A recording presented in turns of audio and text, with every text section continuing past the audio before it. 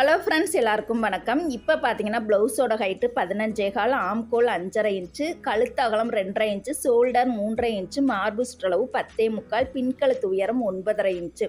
இப்போ பார்த்தீங்கன்னா ஒரு சிம்பிளான ஒரு அழகான நெக் டிசைன் தான் தைக்க போகிறோம் இதுக்கு இது போல் பாக்ஸ் போட்டுட்டு ஒரு ரவுண்டு நெக் தான் நான் வரைஞ்சிருக்கேன் பாருங்கள் கீழே உள்ள வளைவு மட்டும் கொஞ்சம் அகலமாக போட்டிருக்கேன். எப்போதுமே நீங்கள் வந்து பாக்ஸ் போட்டுட்டு நீங்கள் போட்டிங்கன்னா உங்களுக்கு வந்து ஈஸியாக இருக்கும். சில ரவுண்டு ஒடுக்கமாக வரும்.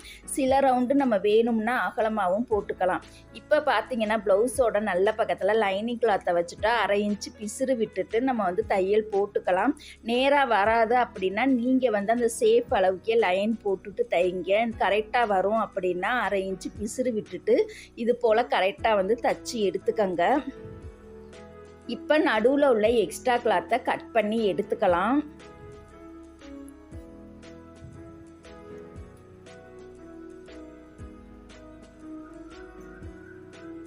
இப்போ பார்த்தீங்கன்னா ஃபினிஷிங் வந்து அழகாக கிடைக்கிறதுக்காக தையலில் படாமல் குட்டி குட்டியாக நம்ம கட் பண்ணி எடுத்துக்கணும். இது வந்து ரவுண்டு சேஃபுங்கிறனால ரவுண்டு ஃபுல்லாகவே நம்ம கட் பண்ணி எடுத்துக்கணும். அப்போ தான் இதே சேஃப் நம்மளுக்கு அப்படியே கரெக்டாக கிடைக்கும். இப்போ பார்த்தீங்கன்னா சேஃப்டிக்காக ஃபினிஷிங் அழகாக கிடைக்கிறதுக்காக பிசுரையும் லைனிங் கிளாத்தையும் நம்மளோட ரைட் சைடு வச்சு நம்ம ஒரு படிமான தையல் போடணும். இந்த படிமான தையல் லைனிங் கிளாத் மேலேயே போடணும். இப்படி நீங்கள் போட்டு தைச்சிங்கன்னா எந்த நெக்காக இருந்தாலுமே பெரட்டும் பொழுது ரொம்பவே ஈஸியாக வரும். அடியில் உள்ள லைனிங் கிளாத் வந்து மேலே வந்து தெரியாமல் இருக்கும் ஈஸியாக இருக்கும். இப்போ பார்த்தீங்கன்னா இந்த தையல் வந்து போட்டு முடிச்சிட்டோம். இப்போ பார்த்தீங்கன்னா கெட்ட பக்கமாக லைனிங் கிளாத்தை வச்சுட்டு நல்ல பக்கம் திருப்பும் போது பாருங்கள் வச்ச உடனே ரொம்பவே சூப்பராக இருக்குது இப்போ நல்ல பக்கம் ஒட்டுலே ஓரத்துலேயே ஒரு படிமான தையல் வந்து போட்டுக்கலாம். நூல் வந்து கரெக்டாக மேய்ச்சா போடுங்க அப்போ தான் நம்மளுக்கு கரெக்டாக இருக்கும். டிசைன் ப்ளவுஸ் தைக்கிறீங்க அப்படின்னா நூல் வந்து கண்டிப்பாக நம்ம போடணும். இப்போ பாருங்கள் நம்ம வந்து தச்சு எடுத்துக்கலாம். ஓரத்துலேயே தையல் போடணும். இப்போ பார்த்தீங்கன்னா நம்ம தச்சு முடிச்சிட்டோம். இப்போ இந்த பகுதியை வந்து நீட்டாக அயன் பண்ணி நம்ம எடுத்துக்கலாம். இப்போ பார்த்தீங்கன்னா இதில் வந்து ஒரு எக்ஸ்ட்ரா டிசைன் வந்து வரைய போகிறோம் இது போல் பாருங்கள் அடியில் வந்து ஒரு திலகம் ஷேப்பில் இது போல் லைன் வந்து நம்ம போட்டுக்கலாம். ஒன் சைடு மட்டும் போட்டு விட்டுருங்க. இன்னொரு சைடு பார்த்தீங்கன்னா அதை நல்லா அழுத்தி விட்டுட்டீங்க அப்படின்னா நம்மளுக்கு வந்து அதோட அச்சு வந்து கரெக்டாக விழுந்துடும் நம்மளுக்கு வந்து அளவு வந்து ஒரே அளவாக கிடைக்கும். இப்போ இந்த லைனை வந்து டார்க்காக வந்து போட்டு விட்டுக்கலாம்.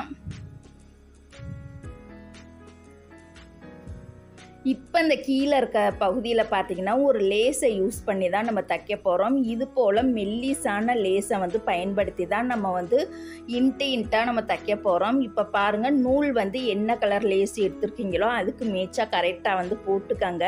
ஒரு கால் இன்ச்சு கால் இன்ச்சு கேப்பு விட்டுட்டு நாலு லைன் வந்து இது போல் நான் தைக்க போகிறேன் இந்த டிசைன் பார்த்தீங்கன்னா ரொம்பவே சூப்பராக அழகாக இருக்கும். நேராக வராது அப்படின்னா நீங்கள் வந்து மார்க் பண்ணிவிட்டு லைன் போட்டுட்டு அதுக்கப்புறமா தைங்க. நேராக வரும் அப்படின்னா கால் இன்ச் நம்மளுக்கே தெரியும் இல்லையா? அது போல் நீங்கள் வந்து போட்டுக்கோங்க.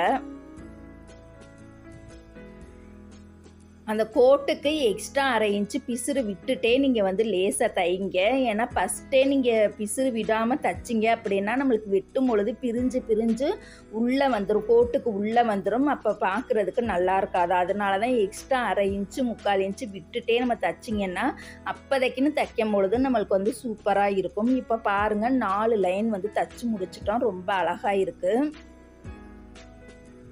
இந்த லேஸ் பார்த்தீங்கன்னா எல்லா கலர்ஸுமே அவைலபிளாக ரொம்பவே சூப்பராக இருக்குது அது போல் இந்த சைடுமே நாலு லைன் வந்து நம்ம தச்சுக்கலாம்.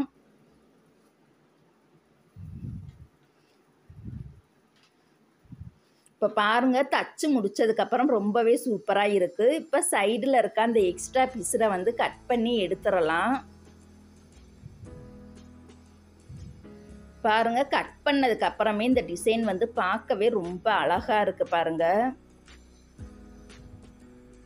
துணியில் படாமல் அந்த லேஸை மட்டும் கரெக்டாக வந்து கட் பண்ணணும்.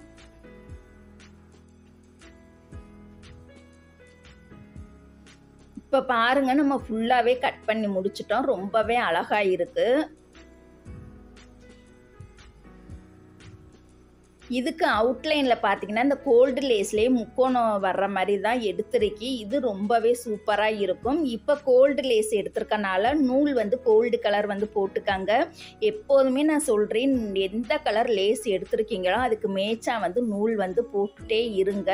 நூல் மாற்றணுமேன்னு சோம்பேறித்தனப்பட்டீங்கன்னா அந்த டிசைன் வந்து பார்க்குறதுக்கு நல்லா இருக்காது. நம்மளுடைய பேர் வந்து கெட்டு போகும். அதனால தான் நூல் வந்து அடிக்கடி மாற்றிக்கிட்டே இருங்க. அப்போ தான் அந்த டிசைன் வந்து பார்க்குறதுக்கு ரொம்பவே சூப்பராக இருக்கும். இந்த முக்கோண லேஸுக்கு முக்கோணத்தில் தையல் போடக்கூடாது. லேஸ் மேலேயே தான் தையல் போடணும். கார்னர் வரக்கூடிய பகுதியில் பார்த்தீங்கன்னா ப்ளீட் வச்சுருங்க. லைட்டாக வைக்காமல் அந்த முக்கோண ஷேப்லேயே வச்சுக்கோங்க. அப்போ தான் நம்மளுக்கு வந்து அழகாக நீட்டாக இருக்கும். இப்போ பாருங்கள் கொஞ்சம் கொஞ்சமாக வளைச்சி நீங்கள் தைச்சிங்கன்னா தச்சு முடிச்சதுக்கப்புறம் இந்த டிசைன் வந்து ரொம்பவே சூப்பராக அழகாக இருக்கும் இந்த ப்ளவுஸுக்கு பார்த்தீங்கன்னா இந்த டிசைனுக்கு எவ்வளோ ப்ரைஸ் வாங்கலான்னு பார்த்தீங்கன்னா முந்நூற்றி ஐம்பது டு நானூறுபாய்க்குள்ளே வாங்கிக்கலாம். நீங்கள் எந்த மாதிரி லேஸ் யூஸ் பண்ணுறீங்கன்னு பார்த்து அதுக்கு ஏற்ற மாதிரி கணக்கு பண்ணிவிட்டு நீங்கள் வாங்கிக்கோங்க. இப்போ இதில் டபுள் தையல் வந்து நம்ம போட்டுக்கலாம். கோல்டு கலர் லேஸ் மேலேயே தான் நம்ம டபுள் தையல் போடணும். முக்கோணத்து மேலே போடக்கூடாது. இப்போ பாருங்கள் தைக்கும் பொழுதே ரொம்பவே அழகாக இருக்குது லேஸ் ஒர்க் பயிற்சி வகுப்பு வந்து முடிய போகுது அடுத்த கிளாஸ் பார்த்தீங்கன்னா டிசைன் ப்ளவுஸ் பயிற்சி வகுப்பும் நெக் டிசைனும் ஸ்லீவ் டிசைனும் நடக்க போகுது ஆவணி ஒன்றாந்தேதியிலேருந்து எல்லோரும் மிஸ் பண்ணாமல் கலந்துக்கங்க. ஓகே தேங்க்யூ ஃப்ரெண்ட்ஸ் இப்போ பாருங்கள் தச்சு முடிச்சிட்டோம். ரொம்பவே சூப்பராக இருக்குது பிடிச்சிருந்தால் லைக் பண்ணுங்கள்